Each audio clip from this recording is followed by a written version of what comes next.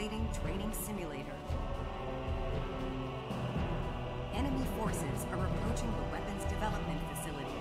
They've already got the facility partially surrounded and are aiming to take out our defense forces. It's gonna be tough to hold off the enemy with our current forces. We need you to join forces and help them hold the perimeter. That concludes the briefing. Commence training.